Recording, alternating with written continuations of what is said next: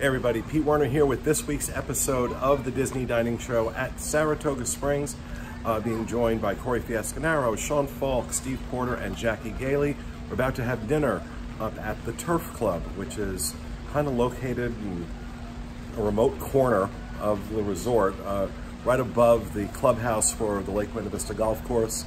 Um, I'd eaten here once before, about a year and a half ago, and it was quite good. So I really wanted to come back and do a review. So since we're doing Saratoga Springs this week as part of our DVC 7 and 7 series, thought we'd do this. So let's check it out.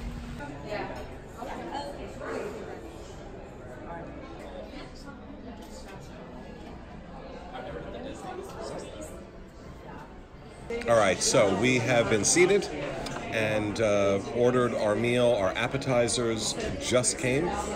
And for my appetizer, I got the classical, classical French onion soup, caramelized onions, rich beef broth, melted Swiss, and Gruyere cheese with croutons for $9. And I will say, this is a good French onion soup. I'm not going to say it's the best I've ever had, but I will say it is better than most that I've had on Disney property. Um, a lot of the ones on Disney property end up with this weird finish in the taste. There's like this almost a bitterness or something. I don't know what it is. This isn't. This is sweet because the onion should be caramelized.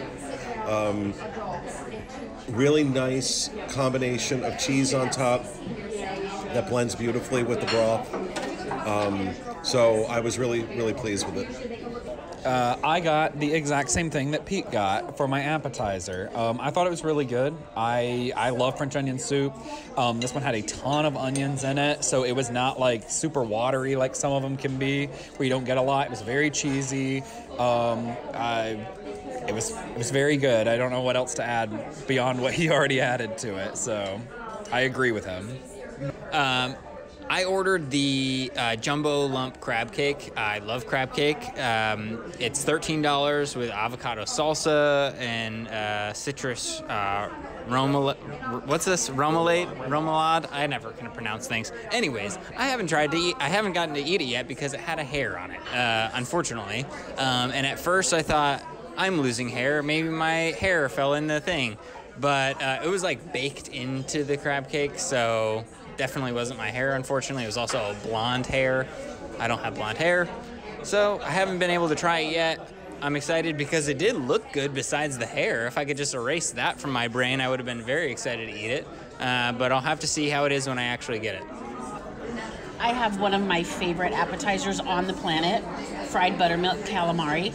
Except that this calamari is a little bit different because it comes with pepperoncini, which I have never had calamari served with that before. And it's actually really good. So it's fried just like the calamari is fried. Um, these guys really know how to do calamari right here as well because I actually bit the calamari in half. It is not rubbery at all. It's perfection. So good. And it's $13. So not terrible for calamari. Really, really good. So for my appetizer, I got the Asian-inspired crispy shrimp. It was $12, and it comes with sweet, spicy sweet chili, aioli, and a vegetable slaw. Uh, this is kind of like an, an appetizer that I would tend to get when I would go out to eat. Uh, to mention a few places, or at least one off the top of my head that has something similar to this, would be Yak and Yeti over at Animal Kingdom. They have a, a, a spicy aioli shrimp appetizer that I really, really like. Um, so I was kind of feeling like this would be a lot like that. Uh, it wasn't exactly like that, but it was really good. The sauce was extra creamy and had a nice little kick to it, but wasn't wasn't too spicy. It also had um, some sesame seeds in there, which sesame seeds don't really like have a flavor to me, but they add like they add a nice texture, and I'm kind of a I'm kind of a texture person when it comes to eating, so I like that. And um, the slaw was just basic vegetables. There was no like uh, seasoning or anything like, that on it, but um, they definitely tasted fresh. And uh, one thing that the server mentioned to us is that at this restaurant, everything is prepared to order. So like you know, a, a lot a lot of times at the parks, the restaurants there, they they do some uh, some prepping for items that you know they would expect people to come in and order, uh, so that they can kind of push people in and out a little bit faster. Uh, here though at Turf Club, we've been informed that everything's made to order, so it is more of a, uh, a slow-paced type of experience. And they specifically told us, you know, they don't they don't rush you out here. So, and it's meant to be that way. So. and we could like throw some stuff together with using simple utensils, you know, because I'm not going to bring my Le Creuset and my fanciness. So we could like throw things together with the supplies they have in the kitchen cooler. Well, that And that could be kind of a fun thing. one of the one of the articles that went up For my main course, I got the grilled New York strip. This is aged in smoked salted butter, hand cut Parmesan rosemary fries, and grilled asparagus for $36. Um, if I had to use a word, uh, unremarkable. Uh, the steak wasn't bad. Um, it's not a top flight top cut steak. Um, the salt, aging it in the salted butter added too much salt, quite frankly, to it. So, and this is from somebody who likes salt, and I found it to be too salty. This steak is would benefit so much from a signature rub, um, kind of like what Steakhouse 55 does. They have their signature Steakhouse 55 rub. Turf Club should be doing that on a steak like this. That would have elevated the steak. Um, like I said, it wasn't bad. It was well cooked. It was cooked perfectly. Um, the uh, Parmesan rosemary fries, there was nothing about them that was even remotely special. They were just fries. Uh, same with the asparagus. Um, it was unremarkable. If, uh, if I was going to qualify any dish as pedestrian, it would be this one. Um, at $36, uh, it's slightly overpriced. I'm not going to say it's grossly overpriced, but slightly. Right. um, I got the pan-seared sea scallops uh, with vegetable succotash with sweet corn cream for twenty-nine dollars. Did you say the price yours? Did 36. 36 was his. Um, uh, mine was $29. Um, I I went into this saying, "Oh, cool, there's scallops on the menu." Can't wait for Disney to disappoint me with scallops again, like they always do. And I was like, I'm not gonna get it because I had already sworn off the Disney scallops because I don't ever like them. And then our server said, We're known for our scallops and they're very, very good. And so they're like, Okay, well, that sounds like a challenge. You might as well get the scallops. So I gave it a shot, and once again, they're still not good. I don't understand what's happening with scallops at Disney, and I I want to like them. Like it's a dish I enjoy, and they overcook them every single time. These, there were five that it came with, so it was actually a pretty good amount that you got because a lot of places only give you two or three. So you did get five, and they were a good size.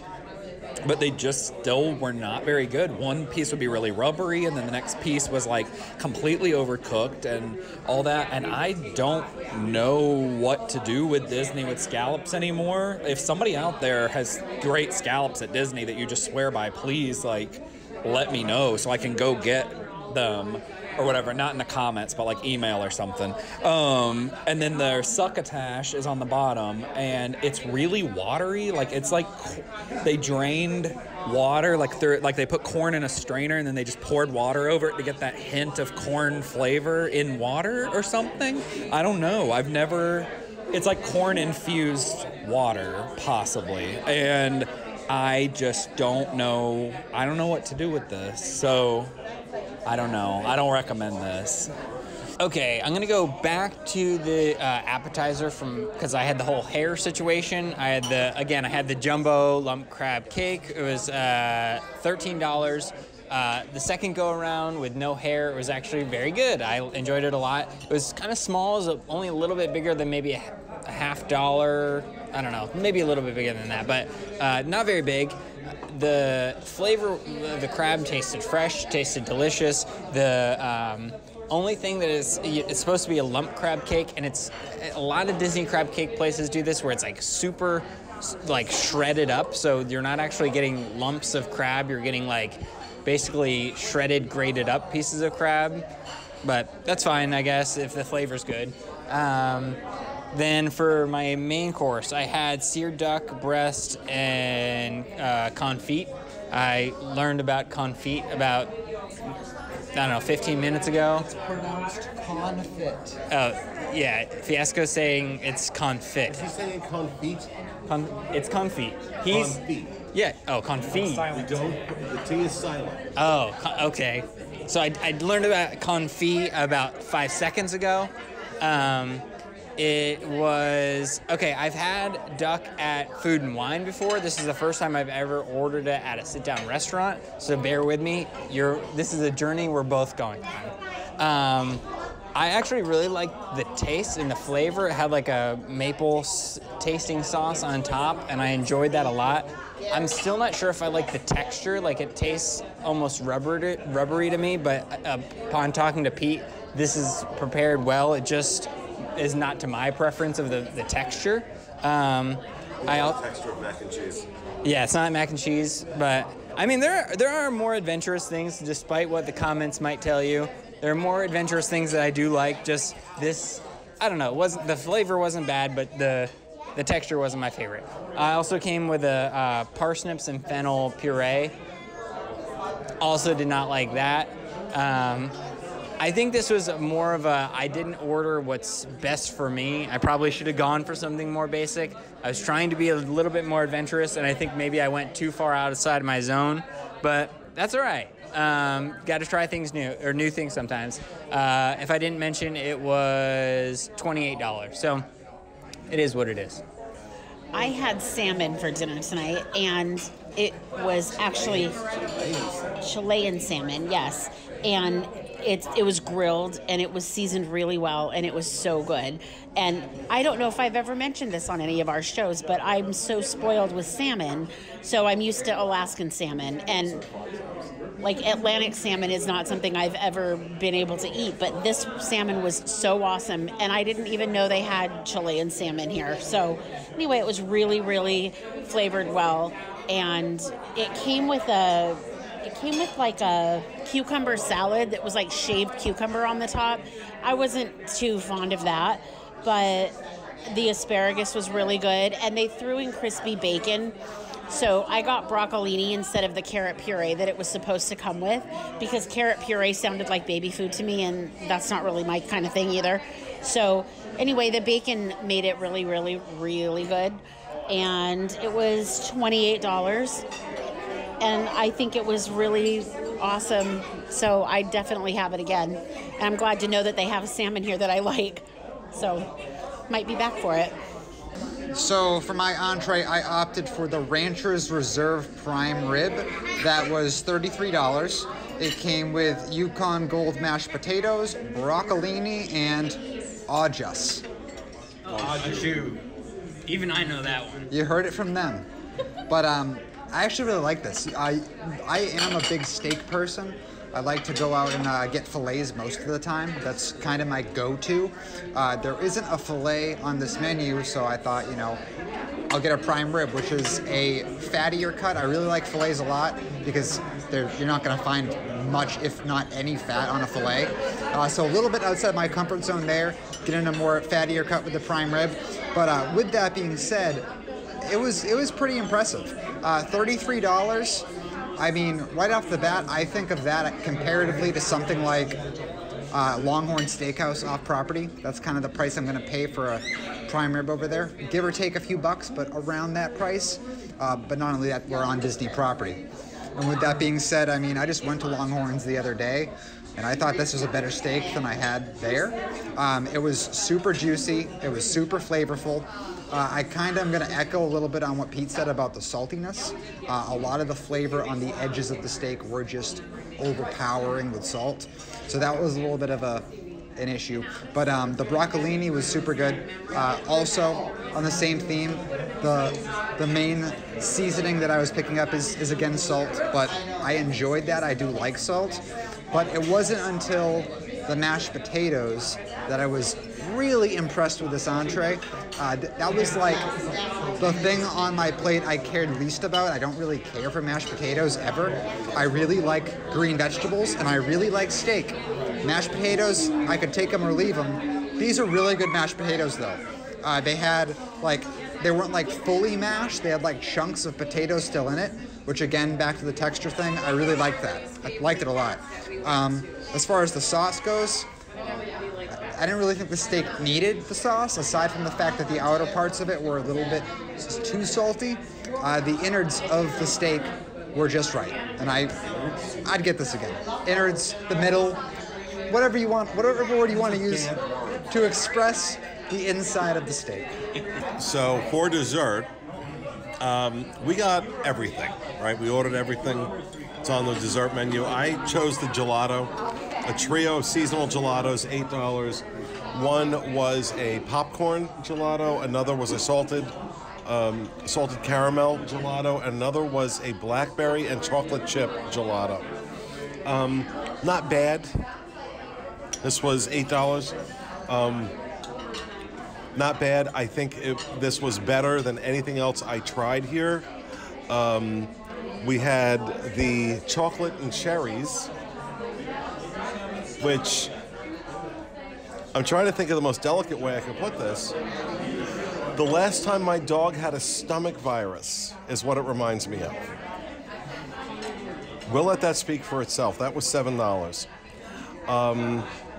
The Fresh Harvest, which is a peach crisp with a classic streusel crust, uh, creme fraiche ice cream, and a caramel sauce, eight dollars. Eh. The lemon meringue pie, the classic lemon meringue pie, tasted more like a key lime and not a good one at that. Um, the vanilla creme brulee, that was seven dollars. The uh, meringue was eight dollars. The uh, dog stomach virus was seven dollars. Fresh, har- fresh harvest was eight dollars. Creme brulee seven. Uh, the creme brulee, I tasted more egg than vanilla. This is supposed to be a Madagas- Madagascar vanilla bean creme brulee with buttery Breton crisp. Um, damn clip-ons.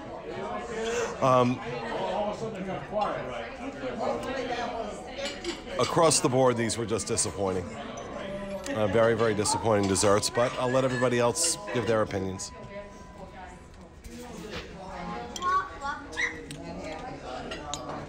Um, I tried a couple of things. I really didn't.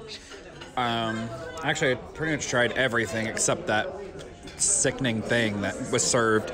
Um, but the peach cobbler, I actually liked it pretty well. I'm not a huge fruit dessert person, especially like hot fruit. That's not really my thing. But I didn't think it was bad. Um, the uh, meringue pie, I didn't think that was necessarily bad either. It just didn't taste like what it was supposed to taste like. Um, I've been eating a, quite a bit of the. Uh, I, I will say his gelatos did taste like the things they said it was supposed to taste like. I just don't really want popcorn as an ice cream flavor or like black cherry as an ice cream flavor. I like more regular flavors. And then the the creme brulee, I think would have been better if it was warm. Like it's very like I don't know, like maybe it's been just sitting out a while. It's very like room temperature, I guess I would say, and it kind of has made the interior like room temperature ish. Um, it it's okay. I, I don't know. Like this I, this this restaurant's not bad. It's just we can literally see Disney Springs right there. I mean, the boats are literally moving across the way, so I just don't see a reason to come here. I guess when there's all those options across the way. Yeah, I'm probably just gonna sound like a broken record and echoing what everyone else has said. I just not impressed by the desserts. The thing that I was most looking forward to is probably the the harvest peach cobbler type thing because I like fruity desserts. But it it was fine. It was not like oh my gosh, you got to come here for that. Um, and everything else was just a different level of meh. So yeah, not a lot to say that hasn't already been said. But don't if you're planning on coming for dessert, don't. So I ordered the Fresh Harvest, which is a peach crisp with classic streusel crust, creme fraiche ice cream, and caramel sauce. And you know, I thought it was just all right. It it wasn't. I was sort of expecting there to be some like cinnamon and nutmeg maybe, or something to just kind of give you that harvesty feel. It was all right. It was all right. Um, this I have to talk about this chocolate and cherries business though. This this chocolate dessert came out and it looked like a hot dog. It was a shape of a hot dog. And it's chocolate it says it's chocolate and cherries, brown butter mousse, caramel sponge and poached sour cherries. I didn't get that from that. It's it tastes like a dark chocolate mousse. It's really rich, but I don't know, it was really odd. And the the classic lemon meringue pie.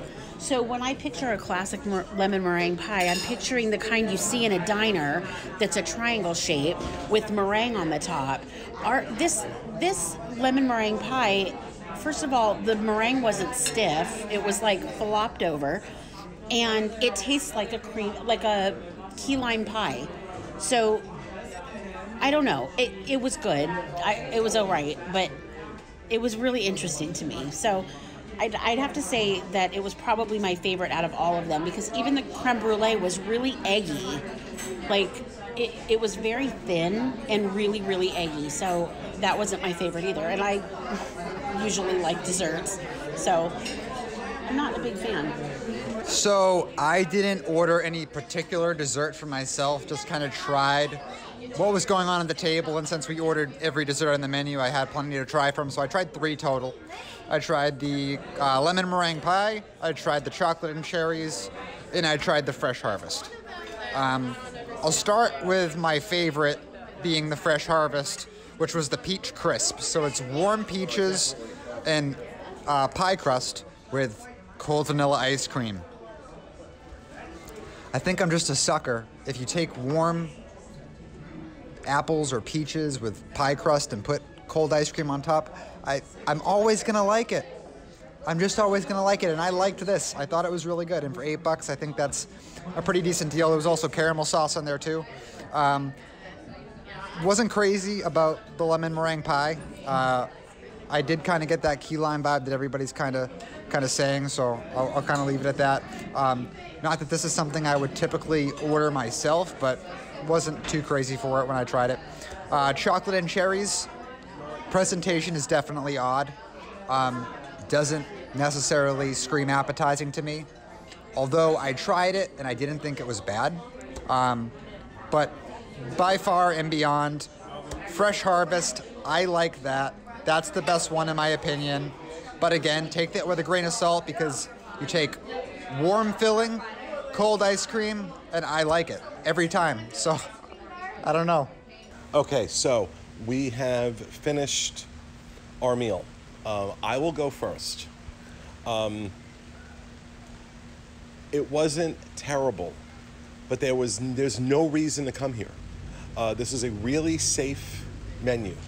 Um, that's the best way I can put it. It's a very safe menu, and given how close this is to Disney Springs, um, and the kind of options you have over in Disney Springs, this has to be a lot better than safe. They really need to start taking some risks and doing something unique with the menu to get some buzz going, to get people over here because otherwise there's really no reason to eat here. It is just pedestrian is the only word I can use. Um, I'm not going to go out of my way to come back here. It wasn't. I will say, our our server, Sharon. Sharon, was fantastic. She was lovely, um, and the food wasn't bad. The desserts, forget it. That that chocolate log dessert, whatever that was, Yeah. that was the most visually unappealing dessert I have ever seen in my life. It was comically bad.